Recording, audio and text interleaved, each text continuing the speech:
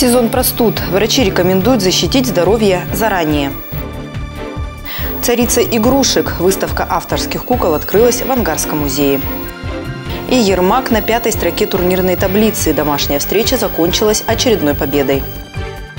В эфире новости с основными событиями дня вас познакомлю я, Евгения Шильникова и мои коллеги. Накануне встречу с журналистами провел избранный губернатор. Сергей Левченко обсудил итоги голосования и рассказал о том, что намерен сделать в первую очередь. У нас есть э, большая задача довести до ума законодательство по поводу правительства Иркутской области.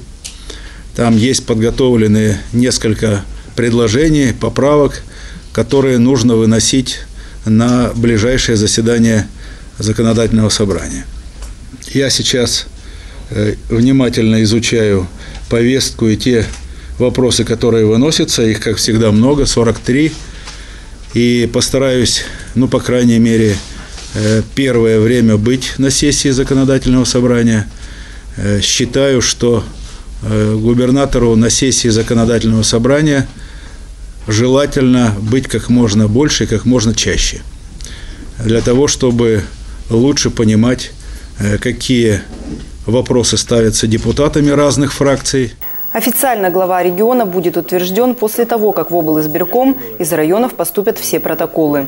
Инаугурация должна состояться в первых числах октября. Счастлив, что на протяжении трех с половиной лет смог послужить родной области. Такое признание прозвучало на пресс-конференции теперь уже бывшего губернатора области. Сергей Ерощенко рассказал, что он всегда обращался за поддержкой к жителям региона и благодаря этому сумел достичь результатов. В непростой экономической ситуации э, нам удалось сделать э, все для того, чтобы э, и бюджет, и сама Иркутская область стабильно имела вектор развития. Мы имеем на сегодняшний день 105,7% э, промышленного роста. Мы э, стабильно получаем инвестиции на сегодняшний день, участвуем во всех программах и при этом нам удалось удержать приемлемый государственный долг порядка 14 миллиардов. Он один из, этот параметр один из лучших в России.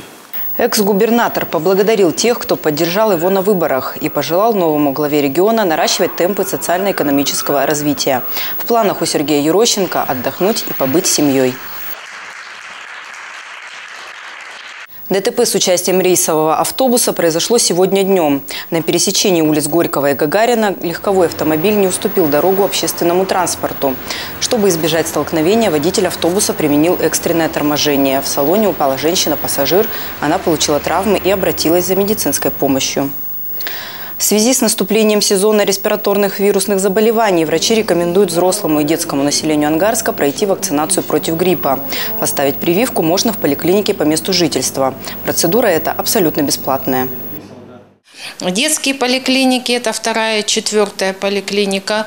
И городская больница, больница скорой медицинской помощи. Во всех при вакцина имеется в достаточном количестве.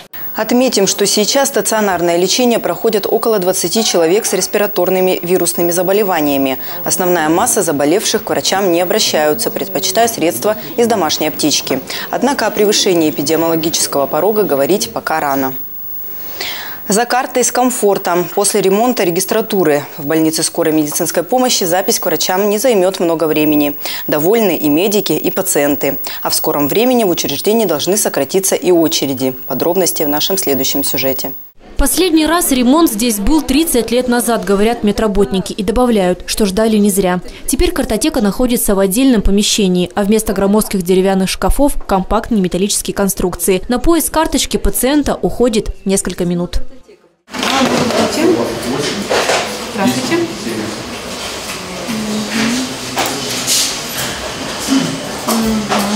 11 часов вас устроит? Это диспетчерский пункт. Здесь принимают все поступающие вызовы. Ранее он находился в соседнем помещении, а теперь стало значительно комфортнее. В обновленной регистратуре стало светлее, просторнее, а, много места, А еще в обновленной регистратуре стало тише. Глухие деревянные перегородки заменили на пластиковые. И теперь регистраторам и пациентам не нужно кричать, чтобы услышать друг друга. С ремонтом в БСМП управились за полтора месяца. Сейчас приступили ко второй части проекта – введению электронной очереди. Будет стоять терминал. А, в терминале будут выведены услуги, которые пациенту необходимо выбрать. Если пациент, допустим, выбирает прохождение медицинских осмотров, он нажимает на данный раздел тут услуги, получает талончик и проходит тому окну, которое этим занимается. Похожие терминалы находятся в банках или налоговой. Таким образом, считают в больнице, регистраторы смогут быстрее обслужить пациентов. Электронная очередь введена в ряде больниц Иркутска. В Ангарске новая услуга только начинает реализовываться. Проект дорогостоящий и планируется, что такие терминалы появятся в БСМП в следующем году. Яна Попова, Елена Мильви, Дмитрий Новопашин. Местное время. Ангарс готовится к 65-летию. Накануне юбилея в городе приводятся в порядок здания, улицы и парки. Сейчас подрядная организация приступила к ремонту ангарских ворот, что расположены в центре на улице Ленина. Архитектурная композиция является одним из ангарских символов. По словам работников строительной организации, колонны оштукатурят и покрасят. Ремонт должны закончить до 20 октября. Ликбез по проблемам ЖКХ проходил в ресурсном центре. Бесплатный семинар для управдомов организовали специалисты жилищного контроля. Среди главных тем – коммунальные тарифы, капремонт и благоустройство. Основная задача занятий – повысить правовую грамотность ангарчан в сфере ЖКХ, организовать их эффективное сотрудничество с управляющими компаниями. Получив информацию у специалистов организации, участники семинара передадут ее другим собственникам, живущих с ними по соседству. Об истории комбината из первых уст в музее АХК состоялся открытый урок для учащихся Росатом-класса. Молодежь пообщалась с теми, кто начинал колоссальную работу по закладке фундамента атомного могущества страны. Мероприятие проходит в рамках празднования 70-летия атомной отрасли. Тему продолжит следующий материал.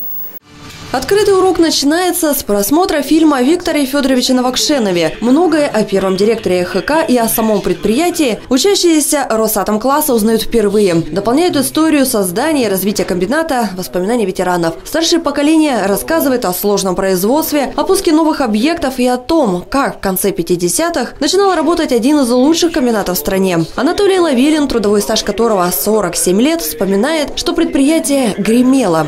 Химический завод к середине 70-х годов увеличил проектную производительность в 4 раза. Развитие атомных технологий стало главной инновацией прошлого века. На сегодняшний день отрасль представляет собой мощный комплекс из более чем 400 предприятий. Ангарский электролизный комбинат занимает важное место в структуре отрасли. Предприятие сумело сохранить свой производственный и человеческий потенциал, а позиции по переработке уранового сырья по-прежнему устойчивы. Предприятие сейчас стабильно работает.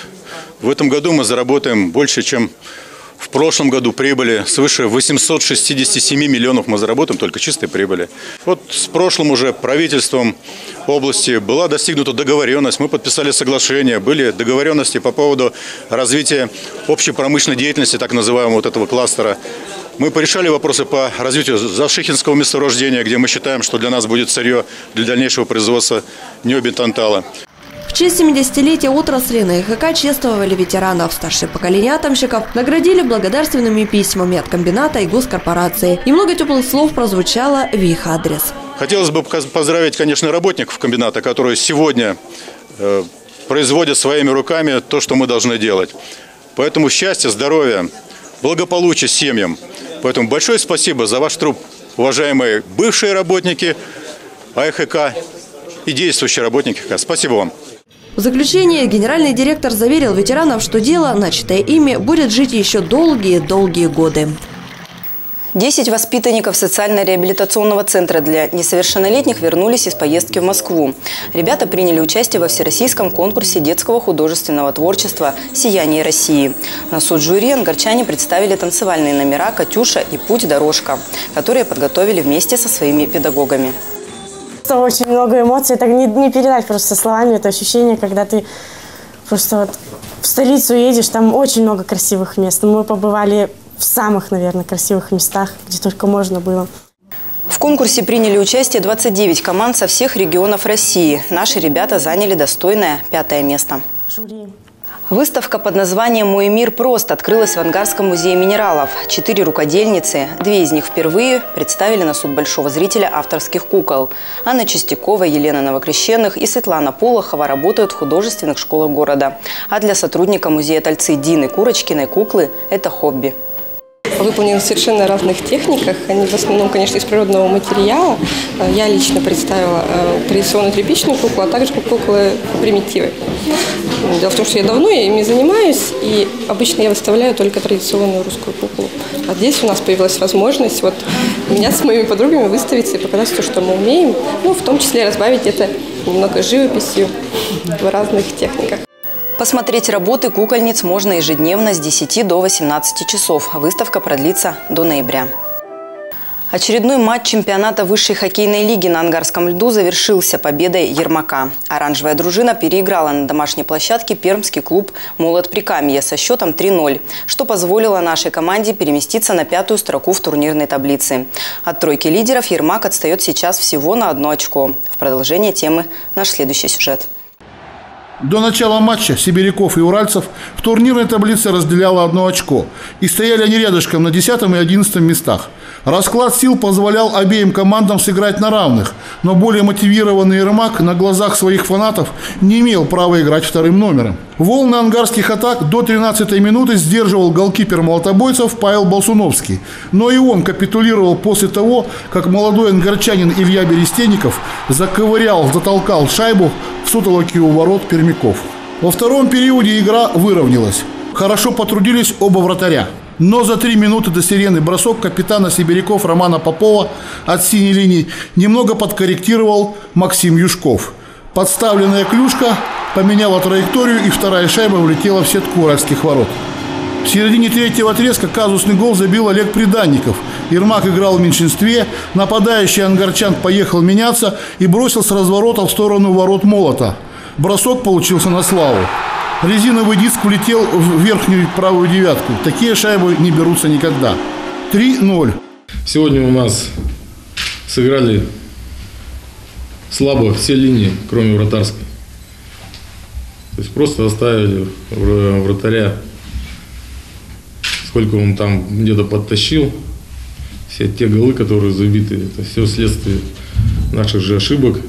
Команда одержала вторую победу подряд – Денис Францкевич заработал второй сухарь в сезоне, и Ермак поднялся на пятую строку в турнирной таблице. Неплохой матч э, с нашей стороны, за исключением пяти минут э, последних второго периода, где было просто какое-то оцепенение со стороны наших хоккеистов. Здорово, что сыграли на ноль, но это заслуга нашего вратаря, в среду ангарчане ждут на рандеву Нижнетагильский спутник, которому после казахстанско-сибирского выезда нечего терять. Ну что ж, тем интереснее будет хоккей. Роман Караваев, специально для информационной программы «Местное время». Далее в программе прогноз погоды, а у нас пока все. Хорошего вам дня.